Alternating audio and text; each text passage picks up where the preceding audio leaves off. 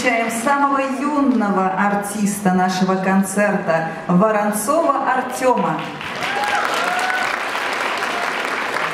Дмитрий Шостакович, Галвот.